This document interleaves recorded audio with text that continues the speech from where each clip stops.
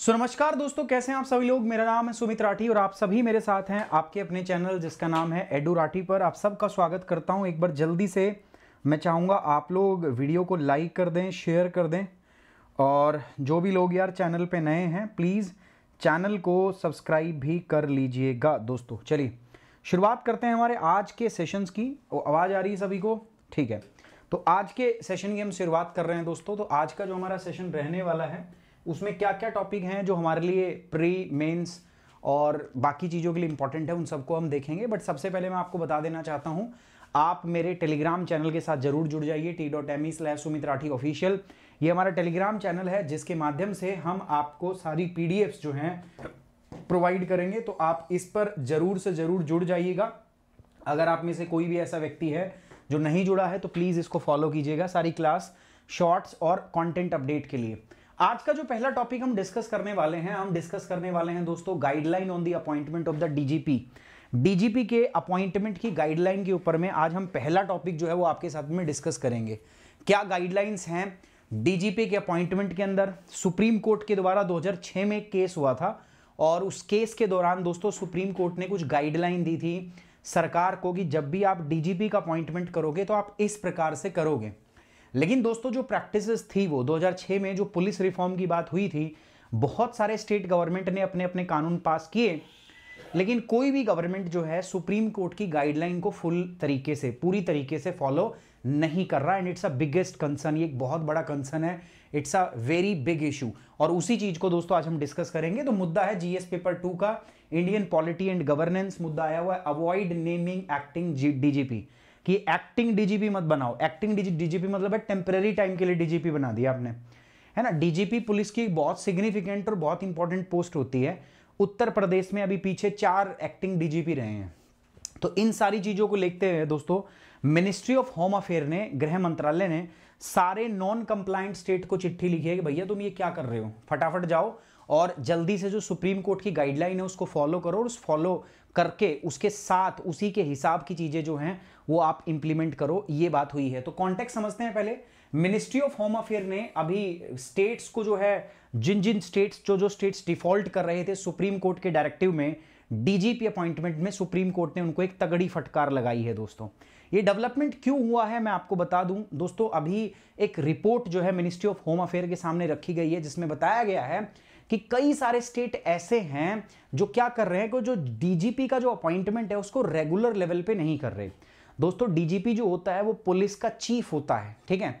और कई सारे एलिजिबल और सुटेबल ऑफिसर हैं जिनको डीजीपी बनाया जा सकता है, बट फिर भी इनके बावजूद भी राज्य सरकार जो है इसका पालन नहीं कर रही। उसके बाद मिनिस्ट्री ऑफ़ होम अफेयर ने इन सारे स्टेट्स को चिट्ठी लिखी है और कहा है कि, भाई साहब, जब आप अपॉइंटमेंट करते हो तो आप सुप्रीम कोर्ट की गाइडलाइन का पालन किया करो। ये स्टेट कौन कौन से है? दोस्तों, इन स्टेट्स में बता दूँ, Andhra Pradesh, Telangana UP Punjab.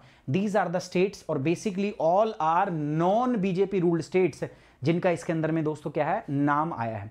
इनको कहा गया कि they are not appointing their police chief जिसको हम डीजीपी कहते हैं on the regular basis regular basis पे अपॉइंटमेंट नहीं कर रहे हैं despite the eligible availability of the official candidate ठीक है, इनका कैंडिडेट है जो डीजीपी बन सकता है, सारी क्वालिफिकेशन है बट फिर भी वो नहीं कर रहे। अब दोस्तों, एक छोटी सी बात देखना ये difference between commissioner of police and DGP होता है दोस्तों। बेसिकली दोनों के अंदर में डिफरेंस क्या है? दोनों के अंदर सिमिलैरिटी क्या है? तो ये आप एक बार देखोगे, ये कमिश्नर ऑफ़ पुलिस का है और ये हमारा किसका है दोस्तों? डीजीपी का है। डायरेक्टर जनरल ऑफ़ पुलिस और कमिश्नर ऑफ़ पुलिस तो जो कमिश्नर ऑफ़ पुलिस होता है, इसको हम पुलिस कमिश्नर या कमिश्नर ऑफ़ पुलिस दोनों भी कह सकते हो। ये सीनियर रैंक ऑफिसर होता है। And in many police force police commissioner may be experience police officer though some are politically appointed elected and may not be shown police officer and in such a case there is a may be a professional chief of police in charge of day to day operation ठीक है, ये अलग चीज़ एक बार पढ़ लेना इसको। मैं मुद्दे पे आता हूँ कॉन्टेक्ट समझते हैं। मिनिस्ट्री ऑफ़ होम अफेयर ने स्टेट्स को चिट्ठी लिखी है, भैया, आप सुप्रीम कोर्ट की गाइडलाइन को फॉलो क्यों नहीं कर रहे हो?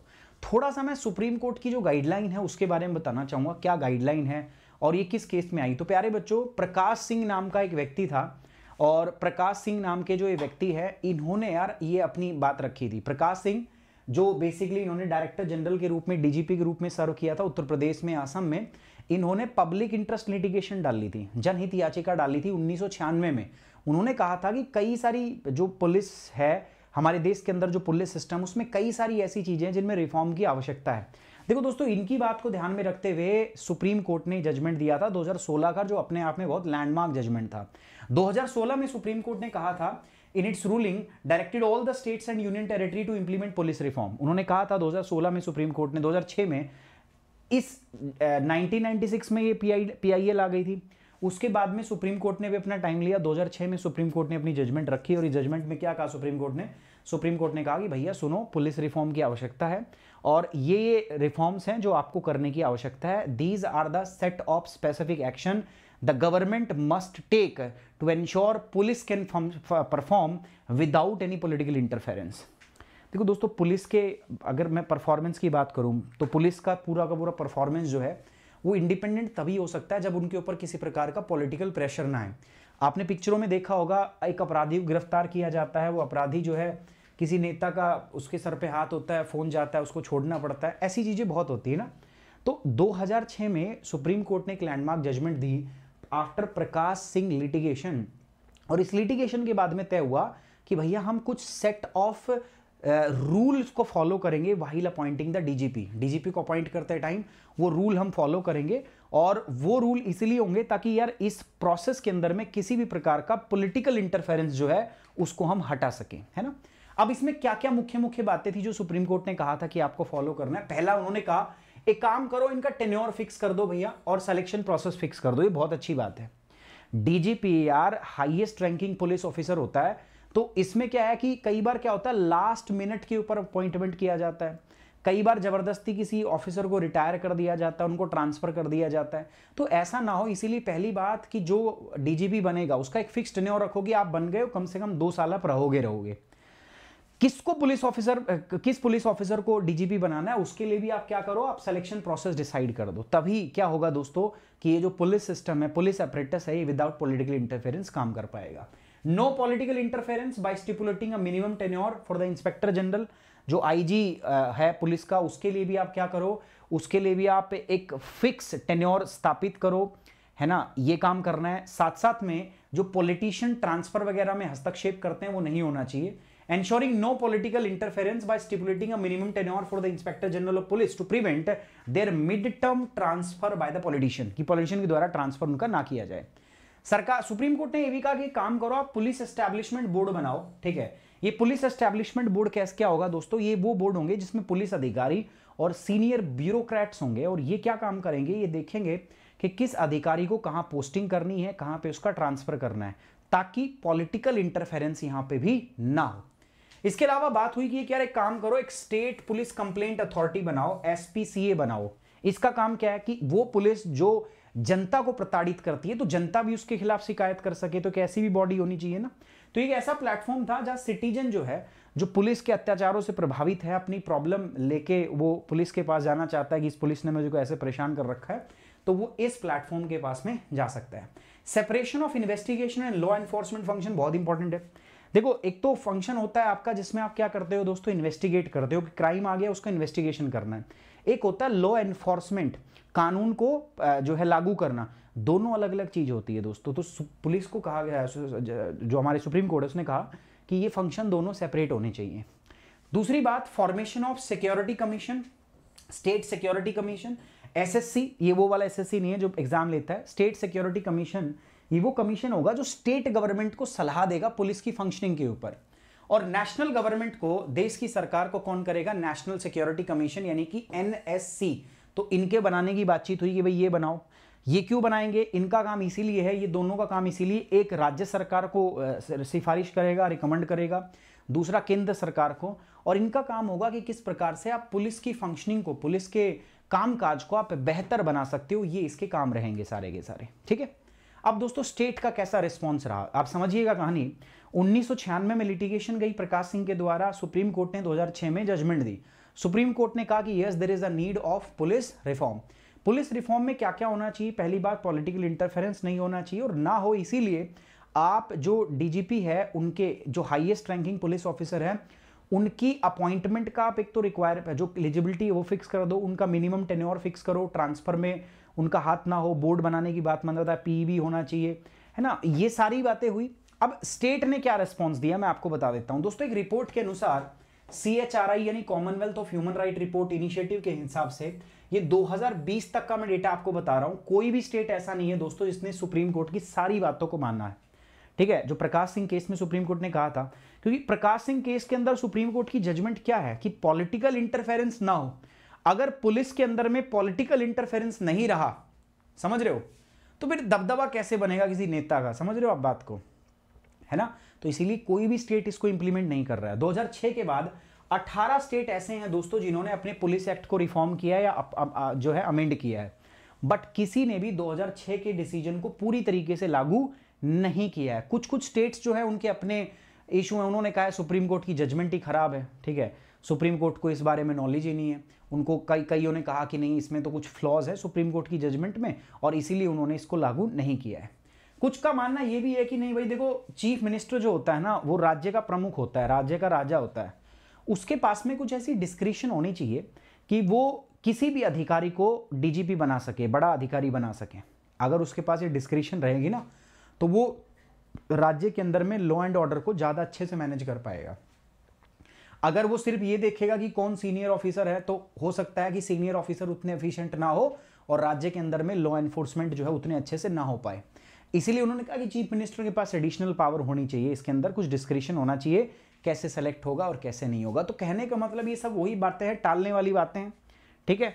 टालने वाली बात है, वही छिहत्तर का खेल है भाई, कि हम आपकी जो डायरेक्शन है उसको इंप्लीमेंट नहीं करेंगे।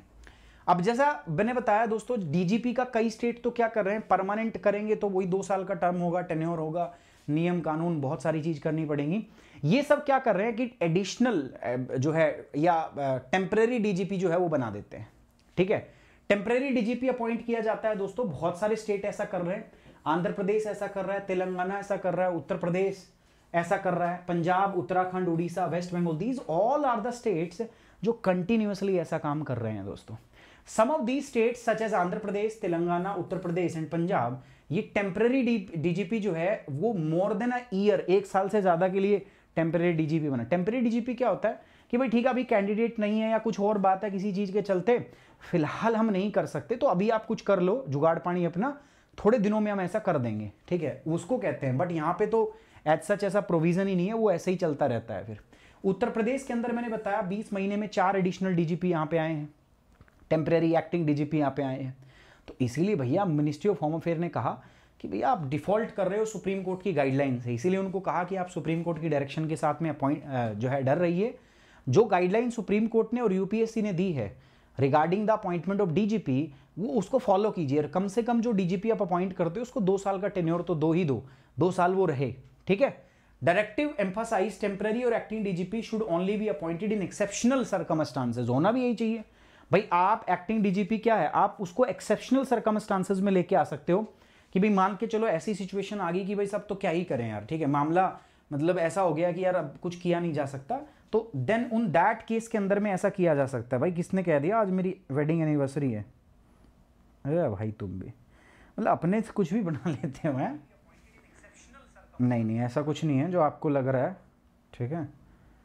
जा चुकी है वेडिंग एनिवर्सरी मेरी। चलिए, आगे बढ़ते हैं दोस्तों। ठीक है, मुझे लगता नहीं फ़ोन वगैरह में कोई प्रॉब्लम है। ठीक है, आराम से अगर आप देखोगे तो मतलब इजीली मुझे तो दिख रहा है यार। ठीक है एवरीथिंग इज़ क्लियर चलिए। ठीक है, ये पहला टॉपिक था हमारा। मुद्दा, दूसरे मुद्दे पे आते हैं दोस्तों। ये मुद्दा बड़ा इंपॉर्टेंट है, आज का नहीं है दोस्तों, ये बहुत पुराना मुद्दा है।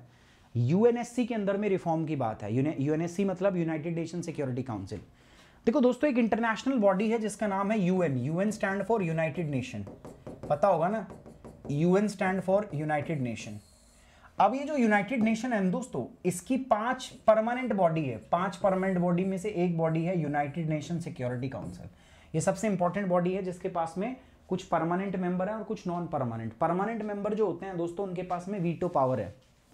ठीक है? परमानेंट है और दूसरे है नॉन परमानेंट परमानेंट जो है दे इंजॉय वीटो पावर इसका काम क्या है यूएनएससी का?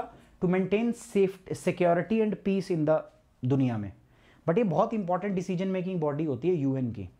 अब दोस्तों, इसमें जो पाँच देश है जिनके पास में वीटो पावर है, वो बहुत पहले डिसाइड हुआ था और उसके बाद में पूरी दुनिया की जियो जो है ना, वो बहुत बदल गई है. समझ में आ रही बात? उसके बाद में अब ज़रूरत है कि इसके अंदर में बदलाव किए जाए और कुछ ऐसे देश जो बड़े हैं, जैसे भारत यार, इतनी बड़ी से पॉपुलेशन है भारत की अफ्रीका कॉन्टिनेंट उसका कोई रिप्रेजेंटेशन ही नहीं यूएनएससी के अंदर। तो ये यहाँ पे किया गया कि नहीं भाई, इनको भी रिप्रेजेंटेशन आपका मिलना चाहिए। तो उसी के ऊपर लंबे समय से बातचीत चल रही है, लेकिन वो मुद्दा जो है वो कभी आगे बढ़ ही नहीं पाता। और उसी से संबंधित ये अपनी न्यूज़ है, जिसको हम डिस्कस करेंगे। How long will five member override hundred and eighty eight nations मुद्दा है कि कब तक पाँच देश जो हैं, वो एक सौ अठासी देश के ऊपर में राज करते रहेंगे। इंडिया की क्या डिमांड है? यूएनएससी रिफॉर्म के ऊपर इस पर बात करते हैं। तो दोस्तों जीएस पेपर दो important international institution agencies fora and their structure and mandates so let's have a discussion over it मुद्दा क्या है दोस्तों? मुद्दा ये है, इंडिया की जो परमानेंट रिप्रेजेंटेटिव है, जिस परमानेंट रिप्रेजेंटेटिव और यूएन के अंदर एम्बेसडर है, रुचिरा कंबोज, उन्होंने क्या कहा है? उन्होंने intergovernmental negotiation on security council reform intergovernmental negotiation on security council reform में कहा है कि भैया भारत की परमानेंट सीट होनी चाहिए। अब ये इंटर गवर्नमेंटल नेगोशिएशन क्या है दोस्तों? ये बातचीत है सरकार के बीच में इंटर गवर्नमेंटल मतलब सरकार के बीच में जो जो यूएन के मेंबर उनके बीच में बातचीत है कि किस प्रकार से यूएन के अंदर रिफॉर्म किए जाएँ। बट जैसे मैंने आपको बताया दोस्तों, ये प्रोसेस जो है इतनी ही लंबी और इतनी ही डिलेड हो रही है। बहुत मतलब इसमें डिले चल रहा है, चल रहा है, चल रहा है डिले होती जा रही है। UNSC reform involves revising and modernising the united nation security council structure membership and operation बहुत इंपॉर्टेंट बात है दोस्तों। यूएनएससी रिफॉर्म की बात यही है भैया कि आप इसको मॉडर्नाइज करो। आज के टाइम पे यूनाइटेड नेशन सिक्योरिटी काउंसिल को। क्योंकि मैंने आपको बताया, इसमें पाँच देश है जिनके पास वीटो पावर है। और वो पाँच देश बाकी के एक देशों के ऊपर में रूल कर रहे हैं। अगर वो चाहेंगे तो कुछ होगा और नहीं चाहेंगे तो कुछ नहीं होगा। दोस्तों, मैं आपको बताना चाहूँगा यूनाइटेड नेशन पूरी दुनिया का एक बहुत इंपॉर्टेंट एक ऑर्गन है दोस्तों, और यूएनएससी उसका एक आत्मा मान लो आप, जिसका काम क्या है दोस्तों ग्लोबल पीस और सिक्योरिटी को मेंटेन करना। जो वर्तमान का कंपोजिशन है, ठीक है, जो डिसीज़न मेकिंग है वर्तमान की दोस्तों किसकी यूएनएससी की यूनाइटेड नेशन सिक्योरिटी काउंसिल की, वो बहुत ही मतलब अनबैलेंस इम्बैलेंस है उसके अंदर में। वो वर्तमान के अंदर में जो होना चाहिए ना, वर्तमान में जो कंडीशन है, उसको वो फुल्ली रिफ्लेक्ट नहीं कर रही है। जो आज का हमारा वर्तमान का जियो लैंडस्केप है वो उसको पूरी तरीके से फुलफिल नहीं कर रही है, उसको पूरी तरीके से संबोधित नहीं कर रही है और इसीलिए बार बार ये डिमांड होती है कि भैया आप इस सिस्टम को क्या करो, आप इस सिस्टम के अंदर में रिफॉर्म करो, आप इसमें सुधार करो, आप इसमें बदलाव करो। अब जब यूएनएससी की रिफॉर्म की बात होती है यूनाइटेड नेशन सिक्योरिटी काउंसिल की तो यहाँ पर पाँच एरिया की बात होती है कि these were the five different main major area जिसमें आपको रिफॉर्म करने की आवश्यकता है। These are the five main categories और ये कैटेगरी कौन है? दोस्तों, सबसे पहली बात होती है वीटो पावर पे। मैंने बताया पाँच देशों को वीटो पावर दे रखी है इन्होंने। पाँच परमानेंट देश है ना, उनको वीटो पावर दे रखी है। तो एक तो इस पर बात होनी चाहिए। दूसरा रीजनल रिप्रेजेंटेशन भारत जो जिसकी दुनिया में मेरे ख्याल में हो ही गया ऑलमोस्ट हो ही चुका है। सबसे ज़्यादा पॉपुलेशन है पूरी दुनिया में, भारत। और एक ऐसे देश को आपने क्या किया है दोस्तों? आपने यूएनएससी की परमानेंट सीट दी ही नहीं है। अफ्रीका एक पूरा कॉन्टिनेंट है दोस्तों। और उसको यूएनएससी के अंदर में कोई सीट नहीं आप पाँच देश, पूरी एक सौ अठासी देश के ऊपर में आप क्या कर रहे हो? शासन करा रहे हो दोस्तों। इसका वर्किंग मेथड साइज़ और वर्किंग मेथड यूएनएससी का, ये ऑब्वियस ही बात है डेमोक्रेटिक नहीं है। पाँच देशों को ज़्यादा पावर है। इसको एक्सपैंड करने की आवश्यकता है and relationship between the security council and general assembly united nation general assembly और यूनाइटेड नेशन सिक्योरिटी काउंसिल इनमें जो संबंध है, उस संबंध में भी सुधार करने की आवश्यकता है। ठीक है? यूनाइटेड नेशन जनरल असेंबली तो मैंने बताया यूएन का ये एक भाग है दोस्तों, परमानेंट ऑर्गन है, यूनाइटेड नेशन सिक्योरिटी। तो उनके अंदर में जो डिपेंडेंसी है, जो रिलेशन है, उसमें सुधार की बात यहाँ पे की गई है। Now what are the associated challenges in this कई सारे मुद्दे हैं सर पहला मुद्दा तो क्या है दोस्तों, ये जो मेंबर स्टेट है ना, जिनके पास वीटो है, उनमें कभी कंसेंसस नहीं बनता। भारत ने कई बार जो है रेजोल्यूशन रखा है कि पाकिस्तान को एक पाकिस्तान के किसी भी पर्टिकुलर व्यक्ति को या संस्था को आप टेरर ऑर्गेनाइजेशन घोषित कर दो, उधर से चाइना आके वीटो लगा देता है उसके ऊपर में। समझ, होता है ना ऐसा नहीं होता, बताओ। तो कई बार ऐसा होता है, कभी कोई वीटो लगा देता है, कभी कोई वीटो लगाता है। मतलब क्या है कि अगर आप देखोगे तो ये north pole versus south pole वाले देश हैं। एक देश इसमें यूएस है जिसके पास वीटो पावर है, दूसरा देश रशिया है टोटली अपोजिट तीसरा देश वो है वीटो पावर जिसके पास चाइना है, सबके वेस्टेड इंटरेस्ट हैं। तो ऐसे में कभी भी इन देशों के बीच में आपसी सहमति बनती ही नहीं है भैया। तो इसीलिए ज़रूरत है कि इन देशों पे क्यों डिपेंड रहे? उस टाइम पे ठीक है they might be the super power and कुछ भी रीजन हो सकता है बट आज की जियोग्राफी आज की जियो जो है, इससे क्या है दोस्तों? डिफरेंट है। Different countries have diverse interest आज देखोगे ये जो पाँच देश है, सबके अपने अपने इंटरेस्ट है अपनी अपनी प्रायोरिटी है अपने अपने विजन है, और वो उसी के हिसाब से क्या कर रहे हैं, काम कर रहे हैं। लेकिन बाकी लोगों का क्या? बाकी एक सौ अठासी देशों का क्या? उनका भी सोचना चाहिए, उनके इंटरेस्ट है, उनकी प्रायोरिटीज है, उनके विजन है, और उसी हिसाब से क्या करना चाहिए आपको इनको रिफॉर्म करने की बात यहाँ पे हुई है। कॉम्प्लेक्सिटी ऑफ़ रिफॉर्म प्रपोजल अब देखो दोस्तों, क्या है कि जो रिफॉर्म की प्रोसेस है अपने आप में बहुत कॉम्प्लेक्स है यार। ठीक है? बहुत कॉम्प्लेक्स है। आप परमानेंट नॉन परमानेंट मेंबर को बढ़ाओ। ये अपने आप में वीटो पावर किसको देनी है, किसको नहीं देनी है? इट्स वेरी मतलब एग्जॉस्टिंग मुद्दा मतलब बहुत कॉम्प्लेक्स मुद्दा है दोस्तों। Proposal for reforming the UNSC including those related to the expansion of permanent and non permanent member the question of veto power and regional relationship ठीक है, ये बड़ा मुद्दा है दोस्तों यूएनएससी में सुधार के लिए विभिन्न प्रस्ताव, जिनमें स्थायी और गैर स्थायी सदस्यों का विस्तार वीटो शक्ति का प्रश्न और क्षेत्रीय प्रतिनिधित्व से संबंधित प्रस्ताव शामिल हैं। Finding a consensus these complex issues require diplomatic negotiation अगर आप इन मुद्दों को सॉल्व करना चाहते हो तो आपके बीच में राजनीतिक, वो कूटनीतिक सूझबूझ होनी चाहिए। और जो देशों के बीच में कह रहा है कि शायद कम है। अच्छा चलो, बात शुरू भी होती है तो बात जो होती है, वो बहुत स्लो पेस से होती है। There is a very slow pace of negotiation ठीक है, सुधार की बात चलो, शुरू तो हो गई, लेकिन वो बात इतनी धीरे होती है कि बस मत पूछो बात यार, है ना? The process of UNSC reform has been characterised by slow progress and incremental change ठीक है? Negotiation within forum like intergovernmental negotiation जिसकी अभी मैं बात कर रहा हूँ, जिसमें अभी बात उठी है it often been protected protected मतलब डिले कर दी जाती है, लंबी कर दी जाती है। अगर एफर्ट चलाए भी जाए ना भाई तो ये जो रिफॉर्म की प्रोसेस है, उसको जान पूछ के, खींच के इतना लंबा कर दिया जाता है कि फिर उसका आउटकम ही नहीं दिखते। लगे रहो तुम उसमें, बहुत स्लो पेस है दोस्तों इन निगोशिएशन का। ठीक है, अब बात करते हैं दोस्तों जिसमें मुद्दा शुरू हुआ था हमारा इंटर गवर्नमेंटल निगोशिएशन के ऊपर। What is this IGN intergovernmental negotiation क्या है दोस्तों? देखो इंटर गवर्नमेंटल मतलब है सरकार के बीच का। निगोशिएशन आप समझते हो, बातचीत वार्ता। It is not it is not it is nothing but just a series of discussion and negotiation among the united nation member state focused on reforming the structure and operation of UNSC भाई UNSC के सुधार की हम बात करते हैं ना? तो यूएनएससी का जो संरचना है, उसका संचालन है, उसमें कैसे सुधार हो, उस सुधार के ऊपर में केंद्र बिंदु में ये गवर्नमेंट ये मतलब प्लेटफॉर्म है। सुधार की बात कहीं तो करोगे तो वो आईएनए में होती है आईजीएन में होती है इंटर गवर्नमेंटल नेगोशिएशन होती है उसके, सरकार के बीच में आपसी वार्ता। It is launch to address the perceived necessity मैंने बताया। जो हम आज ज़रूरत महसूस कर रहे हैं कि हमें भैया सिक्योरिटी काउंसिल की मेंबरशिप को एक्सपैंड करना चाहिए ताकि वर्तमान की जियो डायनेमिक्स को हम उसमें इंक्लूड कर सके। उसके लिए ये इसको लॉन्च किया गया था, इसको स्टार्ट किया गया था कि जो आज की बदलती जियो डायनेमिक्स है, उसके हिसाब से आप यूएनएससी को बदलो, ठीक है उसको चेंज करो और जब आप बदलोगे चेंज करोगे ना तो उसी से फिर इसकी क्रेडिटेबिलिटी और इसकी एफिशिएंसी जो है वो प्रमाणित होगी recognised by united nation general assembly in 2008 The IGN serve as a platform for member state to engage in talks and negotiation regarding UNSC reform. तो बेसिकली गाजर है जो सारे मेंबर स्टेट के हाथ में पकड़ा दी। जो स्टेट ये कह रहा था, जो राज्य ये कह रहा, जो देश ये कह रहा था कि यूनाइटेड नेशन में रिफॉर्म करो यूएनएससी में रिफॉर्म करो, उसके हाथ में ये आई जी एन नाम की गाजर पकड़ा दी। इसमें तुम करते रहो बातचीत। और अभी हमने बताया, इसमें बातचीत बहुत लंबी चलती है। ज़बरदस्ती बातचीत को डिले कर दिया जाता है और अल्टीमेटली इस संस्था का बाप कौन है? बाप है वही पाँच परमानेंट जिनके पास वीटो पावर है। कल को तुमने कुछ बात चलो कर भी दी तो वो वीटो लगा के रोक देंगे बातचीत को। ठीक है? इसीलिए दोस्तों ये बड़ी प्रॉब्लम है। इसमें डिप्लोमेटिक वो होता रहेगा। जब तक कोई रेडिकल चीज़ ना हो जाए ना, तब तक आप नहीं कर सकते। क्योंकि जो पाँच वीटो पावर वाले देश हैं, वो कुछ होने देंगे ही नहीं भाई। होने ना, वो देखो, जिसके पास पावर है, जिसके पास शक्ति है, कभी नहीं चाहेगा कि मेरी शक्ति चली जाए। ठीक है? कभी नहीं चाहेगा। अब बात करते हैं दोस्तों यूनाइटेड नेशन सिक्योरिटी काउंसिल की। तो मैंने आपको बताया दोस्तों, देखो वर्ल्ड वॉर टू के बाद में एक दुनिया में एक ऐसे संस्थान स्थापित करने थे, जिससे यार world war one one world war two जैसी घटनाएँ दोबारा ना हो।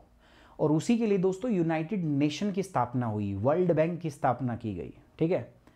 तो यूनाइटेड नेशन की स्थापना 1945 के अंदर में हुई थी दोस्तों, ठीक है, इसकी।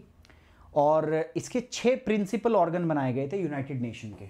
और उन छह में से एक क्या था? यूएनएससी इसका काम था कि दुनिया भर के अंदर में आप पीस और सिक्योरिटी मेंटेन करना, ठीक है? अब यूएन के मैंने बताया कितने, छह प्रिंसिपल ऑर्गन तो छह में से एक तो हो गया यूएनएससी बाकी कौन से हैं, सर? बाकी पाँच ऑर्गन है, पहला है जनरल असेंबली यानी कि यूनाइटेड नेशन जनरल असेंबली तीसरा है, इसके बाद देखो ट्रस्टशिप काउंसिल फिर आता है इकोनॉमिक एंड सोशल काउंसिल फिर आता है इंटरनेशनल कोर्ट ऑफ़ जस्टिस और फिर लास्ट में आता है सेक्रेटेरिएट भाई साहब, ये छह मेन ऑर्गन है, याद रखना, ठीक है? इन सब का काम सॉरी इसका मुख्य काम जो है, वो है अंतर्राष्ट्रीय पीस और सिक्योरिटी को मेंटेन करना। और इस इस, इसका अगर हेडक्वार्टर अगर मैं बताऊँ आपको तो ये जो काउंसिल है इसका हेडक्वार्टर जो है वो कहाँ पर है दोस्तों? न्यूयॉर्क में। So basically it is headquartered in New York ठीक? समझ में आया दोस्तों? बताइए। हॉर्स ट्रेडिंग क्या है गुरु जी टाइगर देखो ऐसा होता है कि मान लो इलेक्शन हुआ कहीं पे भी है ना? और इलेक्शन के दौरान क्या होता है एक पार्टी को या किसी गठबंधन को कुछ सीटें कम मिलती हैं। कुछ उसको कम, मान लो नब्बे सीट चाहिए उसको सरकार बनाने के लिए, और उसके पास है अस्सी सीट। तो उसके बाद जो एमएलए की खरीद और बेच होती है, उसको हॉर्स ट्रेडिंग कहते हैं। या आपने देखा होगा, रातों रात इधर के एमएलए उठ के उधर चले जाते हैं। That is also horse trading तो हॉर्स ट्रेडिंग कब होती है दोस्तों? जब किसी पार्टी को क्लियर मेजोरिटी ना मिले, संपूर्ण बहुमत ना मिले, और उसके बाद में जो बिहाइंड द सीन काम चलता है ना, एमएलए की खरीद और बेच का अब वो ओपन में तो नहीं आता ऑब्वियस बात है, कौन कहेगा कि भाई मैंने इस एमएलए को इतने दे के खरीदा बट बिहाइंड द सीन यही सब होता है, उसी को हम हॉर्स ट्रेडिंग कहते हैं, ठीक है? उसी को जो सरकार अपनी सरकार बनाने के लिए जो भी दाव पेच लगाती है, जिन एमएलए को खरीदती है, जो करती है that is known as the horse trading अब दोस्तों वेस्ट बंगाल में एक बहुत बुरी और बहुत दुखदायक घटना सामने आई है दोस्तों, संदेश खाली के अंदर में। और इस घटना के बारे में खैर मैं एक अलग उस पर बात करूँगा, एक रील इस पर बनाएँगे, एक शॉर्ट वीडियो इस पर बनाएँगे हम, ठीक है? बट जो संदेश खाली वायलेंस हुआ है वेस्ट बंगाल के अंदर में तो जो हमारा देश का शेड्यूल्ड कास्ट पैनल है, उसने रिकमेंड किया है राष्ट्रपति को कि आप अपनी रिपोर्ट में कि आप वेस्ट बंगाल पे प्रेसिडेंट रूल लगा दो, राष्ट्रपति शासन लगा दो, ठीक है? अभी ये किस के तहत में हुआ है? कॉन्स्टिट्यूशन के किस आर्टिकल में हुआ है? और क्या ये प्रावधान है? ये national commission for scheduled caste क्या है? चलिए, थोड़ा सा इसके बारे में हम पढ़ते हैं। सबसे पहले दोस्तों, ये मुद्दा हम क्यों डिस्कस कर रहे हैं? We are discussing it because it's part of GS paper two ये जीएस पेपर दो का मुद्दा है Indian constitution issue related to the S C and S T and constitutional bodies समझ में आई बात? इससे संबंधित है, इसीलिए हम इसको पढ़ रहे हैं। National commission for scheduled caste ने रिकमेंड किया है राष्ट्रपति को कि आप प्रेसिडेंट रूल लगा दो वेस्ट बंगाल के अंदर, पश्चिम बंगाल के अंदर में। क्यों? क्योंकि उनका मानना है कि जो महिलाएँ शेड्यूल कास्ट से बिलोंग करती थी टीएमसी जो वहाँ की पार्टी है, तृणमूल कांग्रेस, उन्होंने उन महिलाओं के साथ में बहुत बुरी तरीके से हरासमेंट की है। कहाँ पर दोस्तों? ये मुद्दा है आपका, ये संदेश खाली का मुद्दा है, ठीक है? अब ये केस क्या है? मुद्दा क्या है? We will discuss it later but बहुत ही मतलब बुरी घटना हुई है, बहुत ही बेकार घटना यहाँ पे सामने आई है। अब घटना क्या सच है, गलत है, वो हमें नहीं पता। बट जो वहाँ की सरकार है टीएमसी के सपोर्टर है, जो उन पर आरोप है कि उन्होंने शेड्यूल्ड कास्ट महिलाओं का बहुत बुरी तरीके से हरासमेंट किया है दोस्तों। ठीक है? अब ये जो रिकमेंडेशन आई है, वो किसकी तरफ़ से आई है दोस्तों? National commission for the scheduled caste ये हमारे संविधान के अंदर में एक बॉडी होती है, जिसको आर्टिकल 338 के तहत में बनाया जाता है और इसका काम क्या होता है? देश के अंदर में शेड्यूल्ड कास्ट जो पॉपुलेशन है उससे संबंधित मुद्दों के ऊपर में नज़र बनाए रखना। देखना, क्या देश के अंदर में शेड्यूल्ड कास्ट जो लोग हैं, उनके साथ किसी प्रकार का भेदभाव तो नहीं हो रहा है? क्या ज़रूरत है, किस प्रकार की ज़रूरत है ताकि वो समाज का वो तकबा जो है वो सामने आए? इनके लिए रिकमेंडेशन करना, इनके लिए सलाह देना इसका काम होता है। So it recommend that president rule should be impose इन्होंने रिकमेंड किया है कि भाई राष्ट्रपति शासन लग जाना चाहिए कहाँ पर? वेस्ट बंगाल में। जो वर्तमान की सिचुएशन है, वो बहुत बुरी सिचुएशन है और आर्टिकल 338 के तहत आप यहाँ पे क्या करो आपको शेड्यूल कास्ट के राइट को सेफ़ करना है और इसी के तहत उन्होंने कहा कि हम आपको ये सजेस्ट करते हैं कि यहाँ पे आप प्रेसिडेंट रूल लगा दो। अब ये आर्टिकल 338 क्या होता है? देखो दोस्तों आर्टिकल 338 जो है, संविधान में क्या कहता है दोस्तों? संविधान कहता है कि it should be the duty of the commission to present the parliament president an annual report ठीक है? At other times as the commission may be deem fit reports upon the working of the constitutional safeguard of the schedule caste देखो दोस्तों भारत के संविधान के अंदर में scheduled caste को प्रोटेक्ट करने के लिए हमने कई सारे प्रावधान बनाए हैं। अब वो प्रावधान ठीक से काम कर रहे हैं कि नहीं कर रहे? इन सब बातों को ध्यान में रखते हुए, अगर वो सही कर रहे हैं तो ठीक है, नहीं कर रहे तो क्यों नहीं कर रहे? इन सब मुद्दों को ध्यान में रखते दोस्तों रिपोर्ट देना रिकमेंड करना एक किसका काम है दोस्तों national commission for scheduled caste का।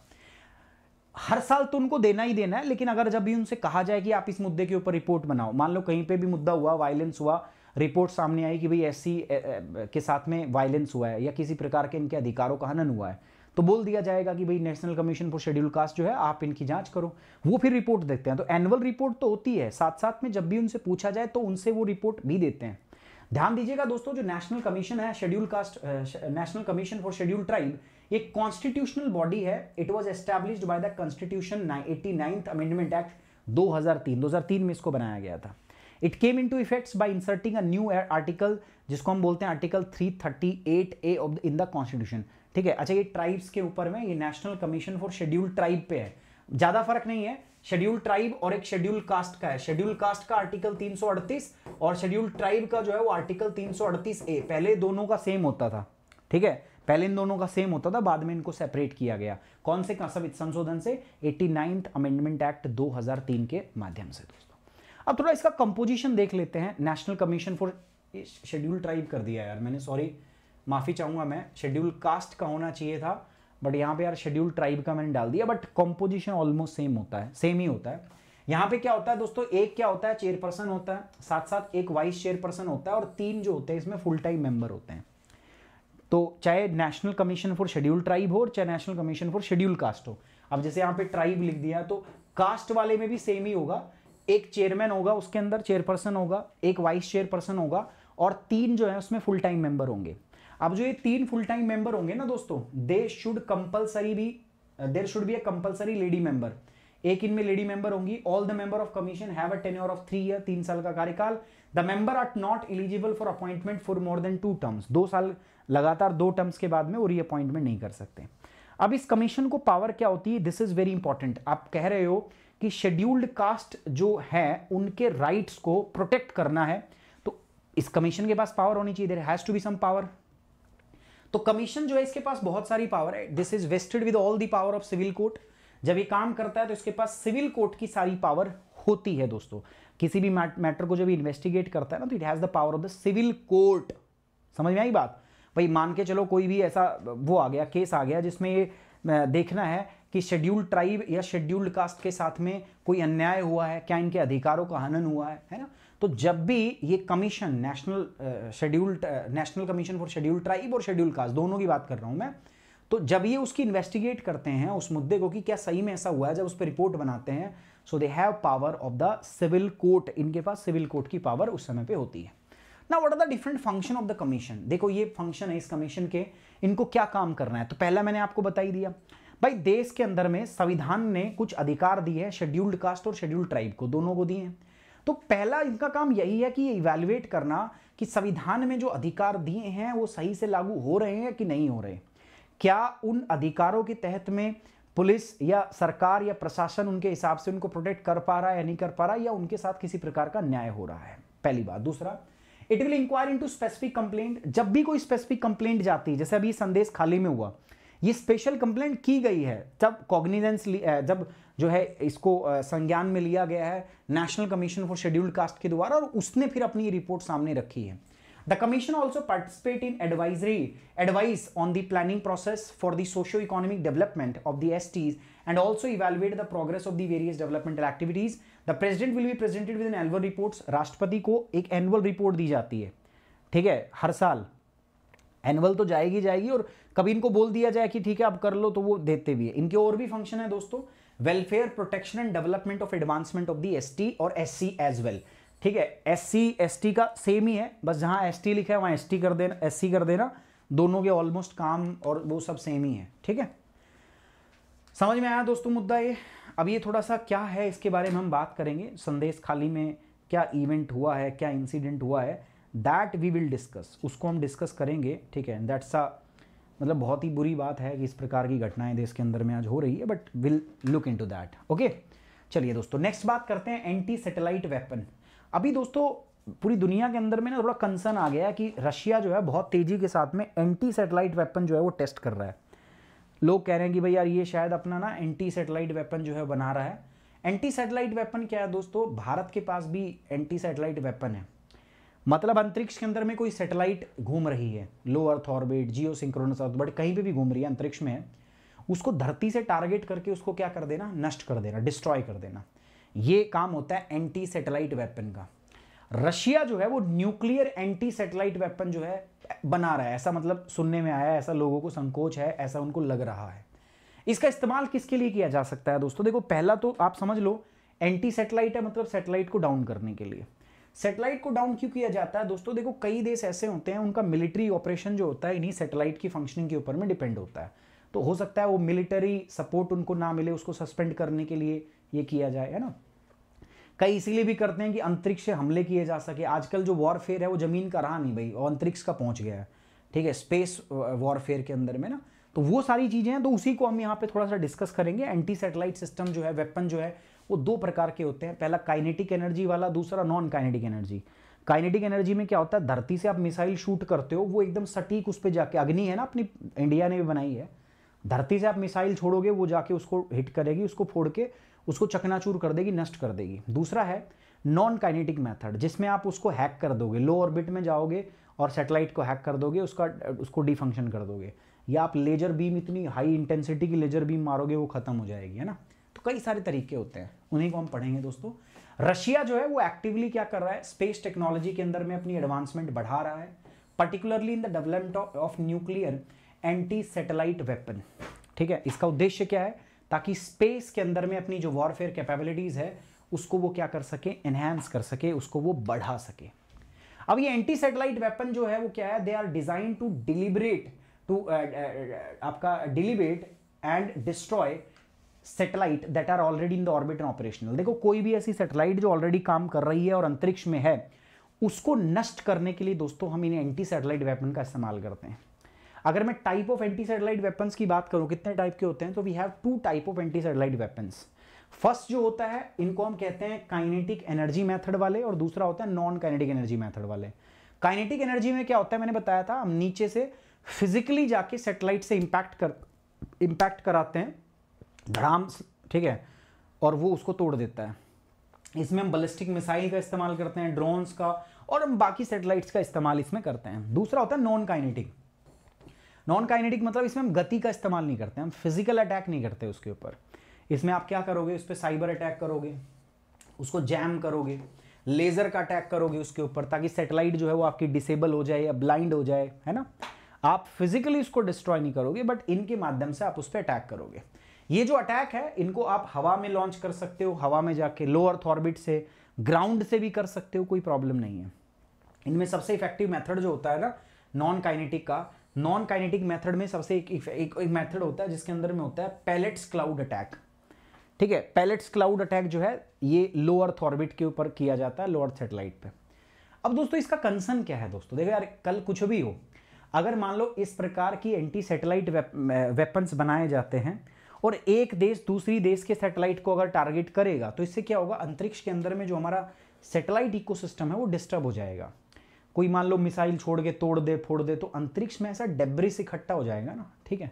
अंतरिक्ष में कूड़ा कचरा इकट्ठा हो जाएगा and that is a problem और भी कुछ कैपेबिलिटीज हैं, जैसे cyber attack on space system उसके अलावा electromagnetic pulse explosion devices directed energy weapon laser based target missile for satellite destruction to disrupt energy military operation several countries have these capabilities but only four जैसे India जो है, उन्होंने अपनी इस capabilities को demonstrate किया है। कहते कई सारे हैं बट चार ही देश ऐसे हैं जिन्होंने दिखा दिया करके। भारत उनमें से एक है and this is a proud thing for us है ना? मुद्दा यही मैंने बताया, ठीक है, इससे क्या होगा दोस्तों स्पेस के अंदर बहुत ज़्यादा डेब्रिस हो जाएगा, और फिर आज तो है ही है वो मतलब आज की सैटेलाइट का काम करने में वो दिक्कत देगा ही देगा। वो भविष्य के अंदर में भी आप देख लो, कोई भी कमर्शियल या कोई भी आपका सिविल सैटेलाइट अगर आप लॉन्च करोगे ना तो उन सबको वो क्या करेगा दोस्तों? प्रॉब्लम करेगा। तो ये सबसे बड़ी प्रॉब्लम है इस केस के अंदर में। ठीक है? समझ आया दोस्तों क्या मुद्दा था हमारा पूरा? Are you able to understand this thing और नॉट समझ आ रहा है दोस्तों? एक बार अगर समझ आ रहा है तो प्लीज़ कमेंट बॉक्स में ओके की रिपोर्ट लिख दो। एंड प्लीज़ गाइज़ वीडियो को लाइक और शेयर कर दिया करो यार। वी नीड योर सपोर्ट ठीक है? आपकी सपोर्ट की बहुत ज़रूरत है भाई।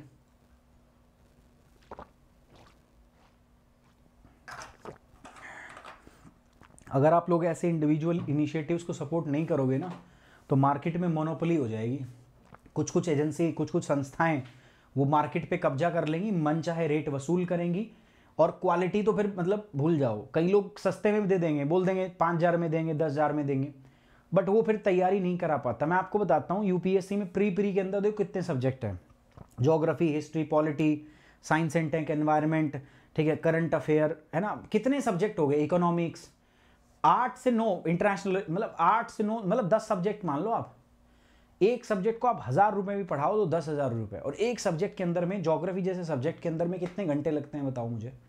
जोग्राफी जैसे सब्जेक्ट को अगर आप अच्छे से करना चाहते हो तो at least you need hundred hours तो हंड्रेड आवर्स का मतलब एक घंटे का दस रुपया, ठीक है? आपको लगता है एक घंटे का दस रुपया जो है कोई कोई कोई भी पढ़ाएगा तो वो क्या कर रहे हैं? एक बार क्लास को रिकॉर्ड करके फिर उसी कंटेंट को दिए जा रहे हैं चेपे जा रहे हैं। आप लोग भी खुश हो, आपको लग रहा है भाई, बहुत सस्ता मिल रहा है, दस हज़ार में मिल रहा है यार, इससे ज़्यादा और क्या करेंगे? बट क्वालिटी नहीं है, ठीक है? उसमें वो क्वालिटी नहीं है।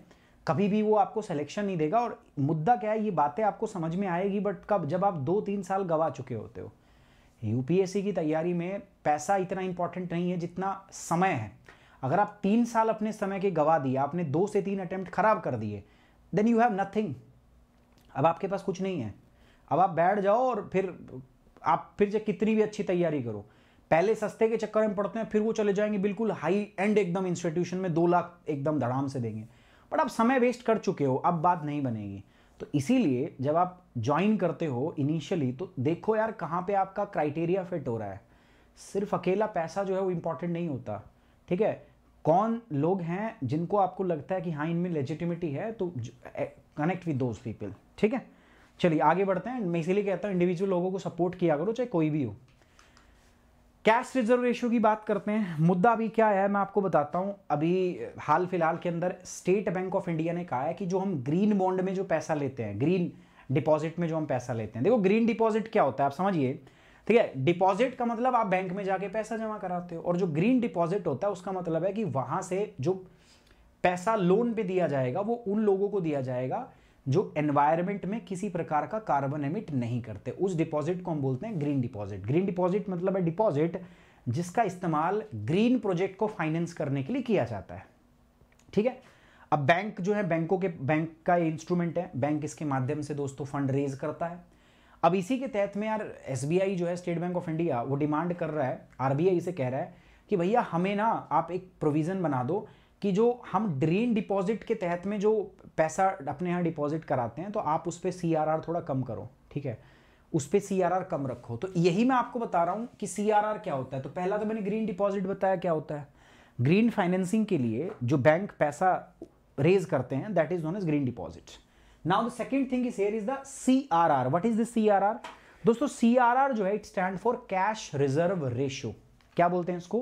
कैश रिज़र्व रेशियो ये क्या होता है पता है आपको? देखो एक बैंक जब काम करना शुरू करता है, मान लो बैंक के पास total net demand in time liability NDTL कहते हैं इसको हम।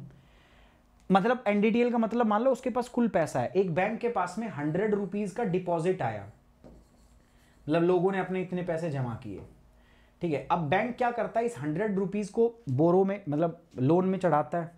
और जब वो लोन में चढ़ाता है तो इस लोन के ऊपर उसको इंटरेस्ट मिलता है और उसी से बैंक अपना पूरा काम करता है।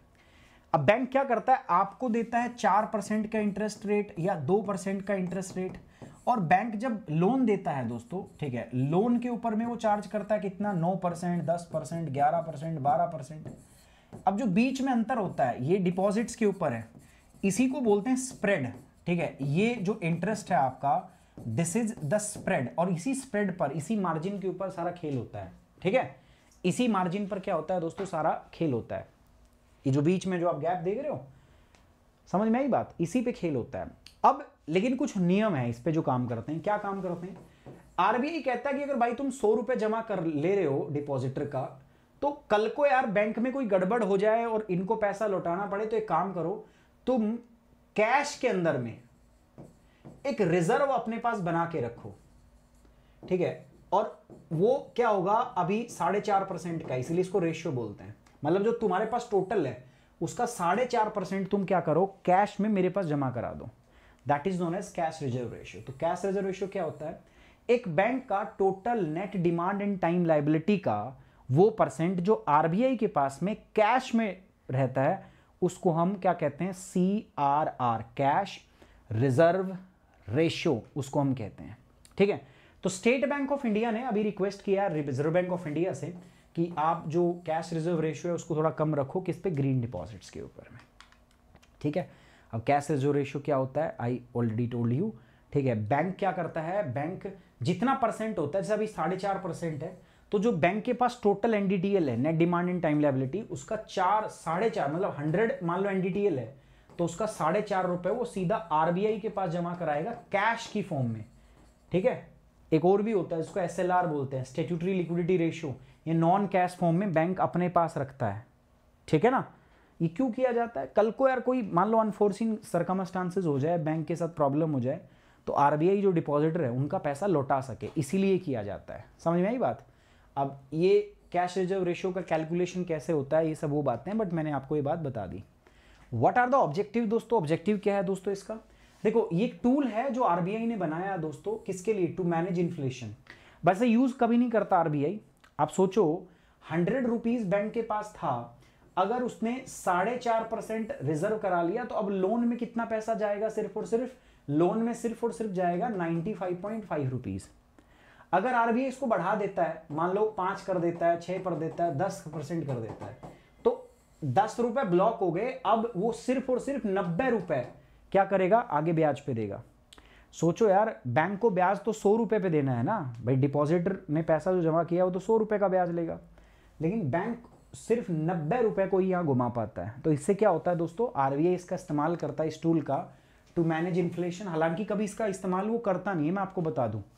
ठीक है? आरबीआई इन्फ्लेशन को मैनेज करने के लिए रेपो रिवर्स रेपो और आपके जो ओपन मार्केट ऑपरेशन है ओ उनका इस्तेमाल करता है। ठीक है?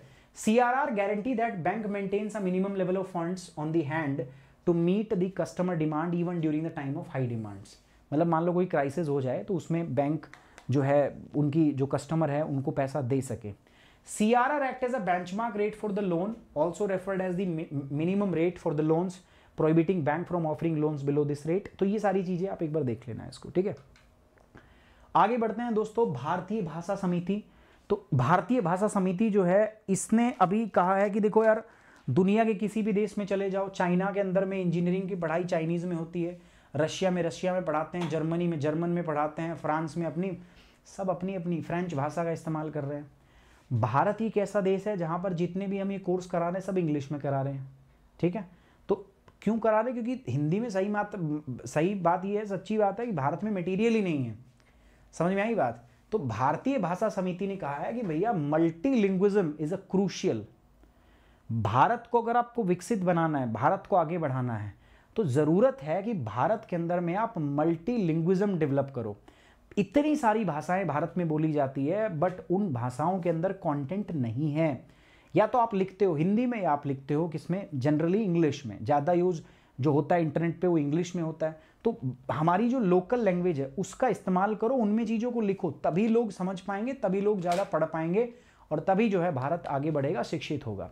Bharatiya Bhasha Samiti advocate promotion of Indian languages in the education and stated that text book will soon be available Indian Indian language on the digital platform Bharat की जो किताबें हैं, वो भारत की भाषाओं में बहुत जल्दी मिलने लग जाएगी। ठीक है? अब इस पर भारतीय भाषा समिति क्या है दोस्तों, ये समझ लो थोड़ा, एक हाई पावर्ड कमेटी है ये। इसका काम ही क्या है, भारतीय लैंग्वेज को प्रमोट करना, ठीक है? इसको मिनिस्ट्री ऑफ़ एजुकेशन के द्वारा 2021 के अंदर में इस हाई पावर्ड कमेटी को बनाया गया था दोस्तों। इसका काम क्या है? इसका काम यही है कि उन सारे पाथ को, उन सारे रस्तों को ढूंढना, जिसके माध्यम से आप भारतीय लैंग्वेजेस को क्या करा सको, उनकी ग्रोथ करा सको, ठीक है? हमारी पॉलिसी आई थी नेशनल एजुकेशन पॉलिसी 2020 के अंदर में तो नेशनल एजुकेशन पॉलिसी एनईपी 2020 के तहत में आप सारा काम करा सको, इसीलिए दोस्तों इस कमेटी को बनाया गया था this is this committee task with advising the ministries on revitalising existing languages teaching and research and expanding it to the various institutions across the countries. To fulfil it responsibility this high powered committee may appoint sub committees और sub groups it also authorise to organise seminar workshop conferences and webinar to emphasise the importance promoting Indian language ये भारतीय भाषाओं को बढ़ावा देने के लिए, ज़ोर देने के लिए सेमिनार कार्यशाला, सम्मेलन और वेबिनार आदि आयोजित कर सकती हैं। Additionally the committee can interact and coordinate with the central and state government institutions involving in teaching research and promotion of languages अब इसमें ये जो हाई पावर्ड कमेटी है, ये इसके अंडर, इस इंस्टीट्यूशन के अंडर काम करती है, जिसका नाम है श्री लाल बहादुर शास्त्री नेशनल संस्कृत यूनिवर्सिटी ठीक है? इसके अंडर में काम करती है दोस्तों, नई दिल्ली के अंदर है। ये सेक्रेटेरिएट सपोर्ट प्रोवाइड करता है। काम काज जो होता है ना पेपर वर्क होता है। तो उसके लिए हाई पावर्ड कमेटी को ये सपोर्ट करता है दोस्तों। ठीक है? और जो इस कमेटी के खर्चे हैं, वो भी इसी संस्थान से जाते हैं। It is also responsible for hiring short term consultant short term के अंदर जो इस कमेटी को कंसल्ट करे एक्सपर्ट स्कॉलर ऑफिशियल वो भी काम यही देखता है। Ministry of education will provide necessary funding सारा जो पैसा है, वो मिनिस्ट्री ऑफ़ कौन देता है दोस्तों इसमें? एजुकेशन देता है दोस्तों इस यूनिवर्सिटी के लिए भी और जो ये यूनिवर्सिटी काम कराती है उसके लिए भी। और ये पैसा सारा बजट से आता है। ठीक है? तो ये हुई बात दोस्तों किसकी? हमारी दोस्तों, ये बात हुई भाषाओं की। ठीक है? सर पॉलिटी क्लास 19 के आगे की क्लास सभी, देखो मेरी बात सुनो, आप लोग एक बात समझिए, समझा कीजिए। देखो, वो एक सीरीज़ हमने पढ़ाई थी। आपने अगर वो क्लास देखी हो तो मैंने उसमें कहा भी था आपको कि वो इसलिए कराया था ताकि वो आपको पूरा एक आपकी जो पॉलिटी पढ़ने की जो क्षमता है, उसको आप इम्प्रूव कर सकें। उसमें ऐसा नहीं है कि उन्नीस के बाद बीसवीं, तीसवीं क्लास होगी। बाकी के टॉपिक्स भी होंगे। बट अभी क्या है, हमारी जो ऐप है, उस पर बहुत काम हो रहा है, क्योंकि प्रिलिम्स भी आ गया है तो उस पर हमें क्लासेस ज़्यादा करनी पड़ती है। इसीलिए यूट्यूब पे हमारी क्लासेस भी कम होती हैं, ठीक है? तो वो एक इशू है, क्योंकि जो बच्चा पैसा दे चुका है पे कर चुका है, उसको तो अच्छे से पढ़ाना पड़ेगा ना। आगे बढ़ते हैं दोस्तों power grid unfazed by proposal of O and M norms changes by the C E R अब इसमें यार मेन तो यही है, ठीक है? सेंट्रल इलेक्ट्रिसिटी रेगुलेटरी कमीशन क्या होता है? इसके बारे में बात करना है। तो और कुछ नहीं है इसमें। नॉर्मल बात है, सेंट्रल इलेक्ट्रिसिटी रेगुलेटरी कमीशन क्या होता है? इसको हमने उन्नीस सौ अठानवे में कानून के द्वारा बनाया था, ठीक है? उसके बाद में दोस्तों, ये जो कमीशन है, ये एक सेंट्रल कमीशन के रूप में काम करता है, अंडर इलेक्ट्रिसिटी एक्ट 2003 के तहत में, जिसने उन्नीस सौ अट्ठानवे वाले कानून को बदल दिया था। इस कमीशन में एक चेयरपर्सन होता है और चार मेंबर होते हैं दोस्तों, ठीक है? ये बात आपको ध्यान रखना है। ये इसके काम है, ठीक है? क्या काम करता है? तो इसके फ़ंक्शन ये रहे सारे के सारे। सेंट्रल इलेक्ट्रिसिटी रेगुलेटरी कमीशन जो है it is responsible for regulating various aspect of electricity sector India जैसे क्या टैरिफ होगा कंपनीज़ का, है ना? कितने में वो बेचेंगे, कितने में क्या होगा? एक स्टेट से दूसरे स्टेट में इलेक्ट्रिसिटी का ट्रांसमिशन कैसे होगा? कैसे टैरिफ जो है वो डिटरमाइन होंगे? लाइसेंस किसको देना है, किसको नहीं देना? वो सब इसी का काम है, इसी अथॉरिटी का काम होता है। ठीक है? आगे बढ़ते हुए दोस्तों नेक्स्ट हम बात करते हैं इंटरपोल का रेड कॉर्नर नोटिस ये क्या होता है? तो अभी हुआ क्या है? सीबीआई जो है, उन्होंने एक एब्सकॉन्डिंग क्रिमिनल था उसको पकड़ के वापस लेके आए यूएई से उसको दबोच के वापस लाए तो मुद्दा आता बस तो मुझे लगा कि इंटरपोल और थोड़ा रेड कॉर्नर नोटिस आपको पता होना चाहिए क्या होता है। ठीक है तो उसके लिए हमने यहाँ पे ये बनाया। देखो, जो इंटरपोल होती है, एक अंतर्राष्ट्रीय संस्था है। जैसे हर देश के अंदर में अपनी अपनी लॉ एनफोर्समेंट एजेंसी होती है। इंटरनेशनल लेवल पर सारी जो संस्थाएँ हैं, जो अलग अलग देश की जो पुलिस है, उसमें कोऑर्डिनेट कराने के लिए एक संस्था बनाई जिसका नाम है इंटरपोल इसका ऑफ़िस फ्रांस के अंदर है हेडक्वार्टर फ्रांस के अंदर है, ठीक है? तो जब भी कोई अपराधी एक देश के अंदर से अपराध करके भाग जाता है, दूसरे देश के अंदर में, और वो वांटेड होता है, वो चाहिए ही चाहिए भाई हमें। समझ में आ रही बात? कि उसकी बहुत ज़रूरत है, कोई कांड करके भागा है। तो ऐसी अवस्था के अंदर में दोस्तों, उसको देश में वापस लाने के लिए ये नोटिस जारी किया जाता है ताकि जहाँ पर भी हो, उस क्रिमिनल को लोकेट किया जा सके। अब मान लो इंडिया का कोई क्रिमिनल अपराध अपराध करके भाग रखा है है ना? अब वो यूएई के अंदर है तो भारत ने रेड कॉर्नर नोटिस जारी कर दिया। तो यूएई को पता चल जाएगा कि ये आदमी और ये फलाना ढिमकाना क्राइम करके भागा है ज़रूरी नहीं है कि ये इस बात को कहे कि यूएई सरकार को भाई उसको गिरफ़्तार करना ही है। चाहे तो करे ना, चाहे तो ना करे that's a different thing but हाँ ये जो प्रोविज़न है, इसके तहत में फिर यू की गवर्नमेंट उसमें क्या करती है? सपोर्ट करती है। ठीक है? कि भाई हाँ तुम्हारा अपराधी इधर है और तुम तो वो वाली बात है ये। चलिए, इसकी बात कर लेते हैं। C B I had got a red corner notice against the convict from the Interpol general secretary on November सात दो हज़ार तेईस on a request by the Haryana police तो C B I said it brought back an absconding life convict जिनको जीवन भर की सजा थी, उसको वापिस वो लेके आ गए मर्डर केस में। रेड कॉर्नर नोटिस जो है, इसको रेड नोटिस भी कहते हैं दोस्तों। ये एक रिक्वेस्ट है law enforcement world wide to locate and temporary arrest for such fugitives कोई ऐसा आदमी जो एक देश में क्राइम करके भाग गया है, दूसरे किसी देश में जाके छुप गया या कुछ और तो ये बेसिकली एक तरीका है जिससे कहा जाता है कि भैया इस व्यक्ति को ढूंढो लोकेट करो और टेम्पररी टाइम के लिए इसको अरेस्ट करके अपने पास रख लो। बाद में तो जिस देश से वो भागा है, वो उसको वापस ले जाएँगे। It notify police force around the world about their fugitives who are wanted internationally ये दुनिया भर की पुलिस बलों और उन भगोड़ों के बारे में सूचित करता है, जो अंतर्राष्ट्रीय स्तर पर वांछित है। A red notice contains identifying information about the wanted person such as name date of birth nationality and physical feature like hair eye colour along with the photos and biometric जब आप रेड कॉर्नर नोटिस जारी करते हो तो ये सारी चीज़ें चाहिए। नाम date of birth nationality physical feature कैसा दिखता है, ये सब, है ना? It also include details about the crime they are wanted for क्या कांड करके भागे हैं वो, ठीक है? वो सब उनको पता होना चाहिए। Issued a red corner notice at request of member country जैसे अब इंडिया इंटरपोल का मेंबर है तो भारत ने रिक्वेस्ट किया तो उसके बाद में उनको वो रेड कॉर्नर नोटिस मिल जाए। ध्यान रखना है रेड कॉर्नर नोटिस जो है ना, बस ये सहयोग की बात है। ऐसा नहीं है कि रेड कॉर्नर नोटिस हो गया, अब मान लो वो फ्यूजिटिव बांग्लादेश में छुपा है तो वो बांग्लादेश की जो लॉ एनफोर्समेंट एजेंसी उसकी ज़िम्मेदारी है उसको पकड़ना अरेस्ट करना और भारत सरकार को सौंपना। नहीं, ऐसा बिल्कुल भी नहीं। वो चाहे तो करे और ना चाहे तो ना भी करे। अब इंटरपोल इसमें क्या काम करती है दोस्तों? मैंने बताया, जो मेंबर कंट्री है, उसकी बिहार पे वो काम करती है, ठीक है? जहाँ पे क्राइम हुआ है, और वो रेड नोटिस जारी कर देती है, ताकि सबको ये पता चल जाए कि हाँ भाई, ये आदमी फलाने देश से क्राइम करके भागा है। Now it depends on that particular country कि उसको उसको पकड़वाना है या नहीं पकड़वाना। Red notice request can be made by international criminal court and tribunals जो अंतर्राष्ट्रीय रेड नोटिस है, इसका अनुरोध अंतर्राष्ट्रीय आपराधिक न्यायालयों और न्यायाधिकरणों द्वारा किया जा सकता है। It is not an international arrest warrant ध्यान रखना दोस्तों, ये इंपॉर्टेंट बात है इसकी। ये कोई इंटरनेशनल अरेस्ट वारंट नहीं है कि जहाँ पर भी दिखा इसको गिरफ़्तार कर लो। ना भाई, ठीक है? बस ये एक रिक्वेस्ट है कि यार ये बंदा है, कांड करके भगा है, इसको लोकेट करो और अगर तुम्हें मिल जाए तो टेम्पररी इसको दबोच के अपने पास रख लो, है ना? बाद में हम इसको ले जाएँगे। ठीक है? That's it Interpol can not compel a law enforcement authority in any country अब जैसे भारत मेंबर है इंटरपोल का, और मान लो पाकिस्तान भी है। अब इंडिया में कोई कांड करके भागा और पाकिस्तान में जाके छुपा है। हमने रेड कॉर्नर नोटिस लगवा दिया उसमें।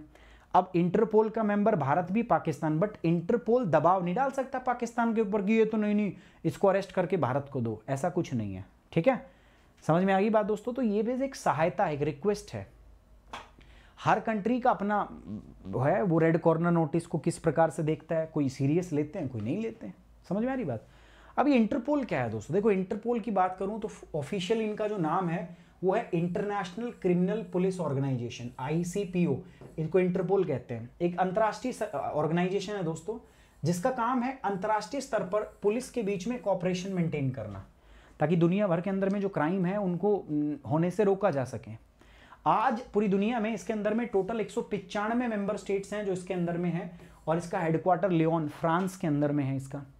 Each member countries they operate on Interpol national centre bureau NCB मैंने बताया जैसे भारत है तो इंटरपोल का जो एक रिप्रेजेंटेशन भारत देश में है मतलब इंटरपोल अब भारत में कहेगी तो किससे बात करेगी? भारत में तो कई सारी लॉ एनफोर्समेंट तो इंडिया में जो एनसीबी का काम करती है, वो सीबीआई करती है। मतलब जो कोऑर्डिनेट करती है ना इंटरपोल भारत में, वो सीबीआई से करती है, ठीक है? सीबीआई इंटरपोल जो it plays a crucial role in coordinating global police network and expert across the various crime across to combat the criminal activity Interpol आपराधिक गतिविधियों से निपटने के लिए विभिन्न अपराध क्षेत्रों में वैश्विक पुलिस नेटवर्क और विशेषज्ञों के समन्वय में महत्वपूर्ण भूमिका निभाती है। भाई, दुनिया भर की जो पुलिस है, वो आपस में समन्वय में अच्छा काम कर सके, उनके बीच में कोऑर्डिनेशन हो, इसके लिए दोस्तों किसका काम होता है? ये काम में कौन हेल्प करता है दोस्तों? इंटरपोल ठीक है? तो ये कोऑर्डिनेशन के अंदर में आपको क्या करता है दोस्तों? इंटरपोल आपका हेल्प करता है। यहाँ तक अगर आपको बात समझ में आई तो बताइए मुझे। करिए भाई ओके की रिपोर्ट और नहीं आई तो भी बताइए भाई। ठीक है? बताइए, करिए ओके की रिपोर्ट समझ में आ गई तो ठोक दो। ओके की रिपोर्ट कर दो guys and please please please video को लाइक शेयर ज़रूर कीजिएगा।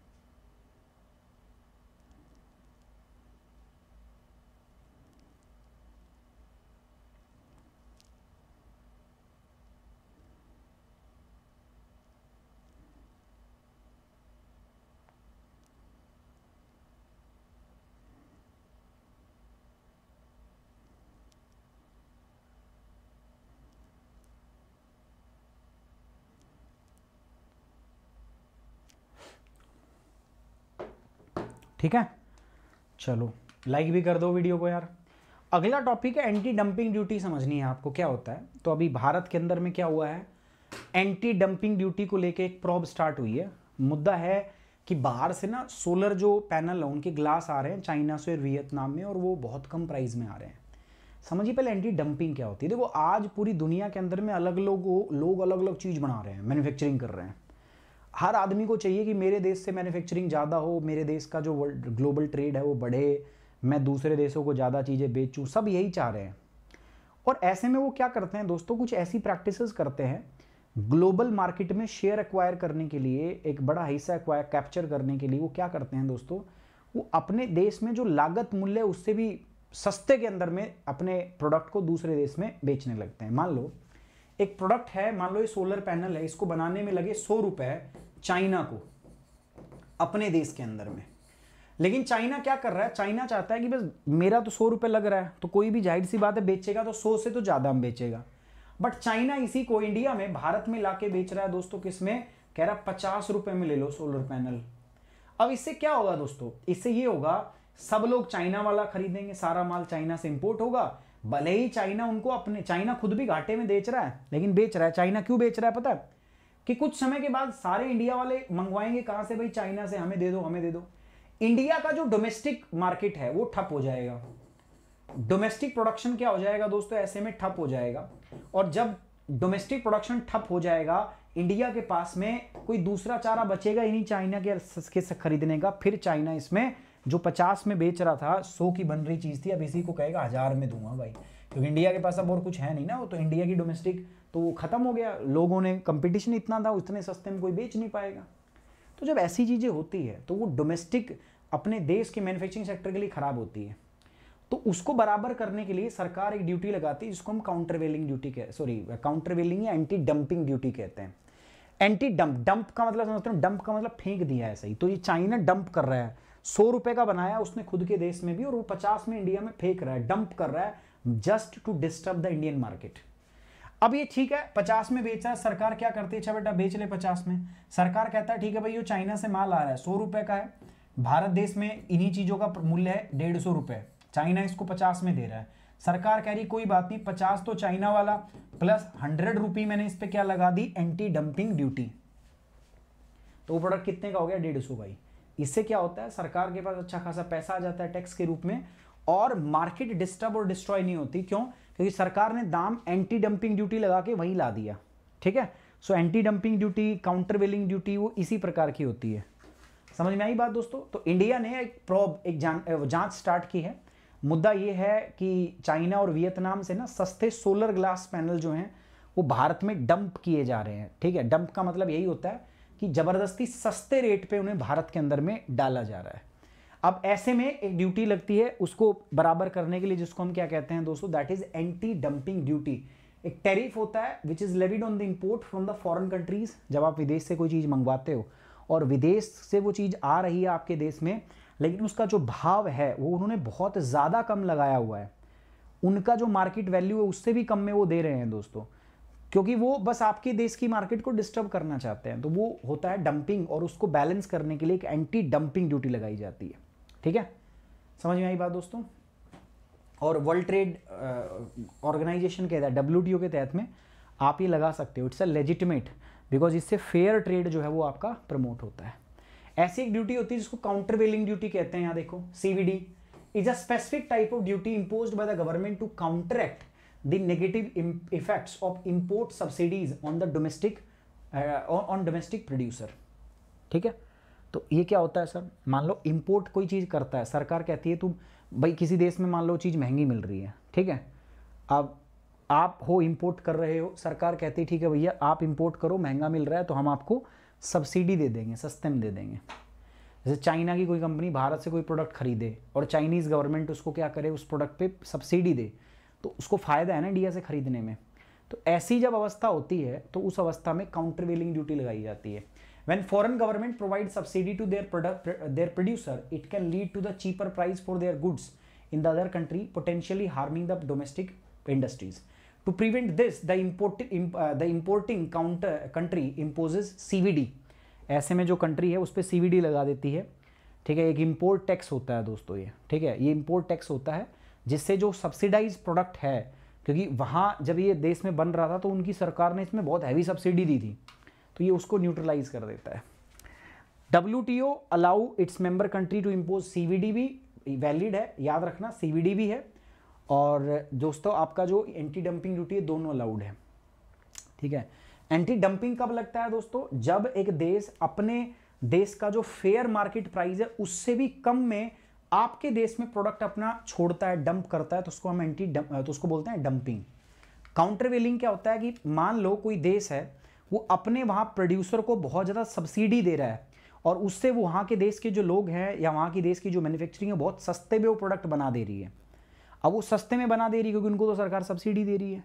तो ऐसी अवस्था में प्रोडक्ट सस्ते होते हैं, दूसरे देश के जो मैन्युफैक्चरर उनको नुकसान होता है तो उसको बैलेंस करने के लिए काउंटर वेलिंग ड्यूटी लगती है और दोनों परमिटेबल है. मतलब दोनों पे परमिशन है, कोई इशू नहीं है। तो अगर आप कर रहे हैं दोस्तों प्रिलिम्स की तैयारी दोस्तों तो हमारा टारगेट प्रिलिम्स बैच चल रहा है, आप जुड़ जाइए लेट कीजिए मत दोस्तों। Double eight double zero eight zero five six zero three ये हमारा फ़ोन नंबर है, इस पर कॉल कीजिए, अपनी सीट बुक कीजिए एडुराठी ऐप के ऊपर हमारे साथ आप जुड़ सकते हैं। Geography optional sociology optional ethics integrated aptitude ये सारी क्लासेस आप मेरे साथ मिलकर अभी कर सकते हो। आप हमारे साथ मेंबरशिप में भी जुड़ सकते हो one year two year three year membership है हमारी।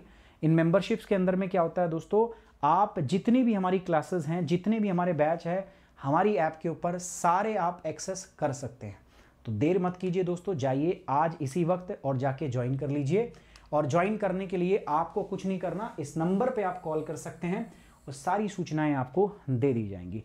हमारी ऐप है गूगल प्ले स्टोर पे जाके, उस ऐप को डाउनलोड कर लीजिए दोस्तों। साथ साथ में ये टेलीग्राम चैनल ज़रूर फॉलो कीजिए। अभी जो पीडीएफ है, मैं इसी टेलीग्राम चैनल पे आपको दे दूँगा। ठीक है?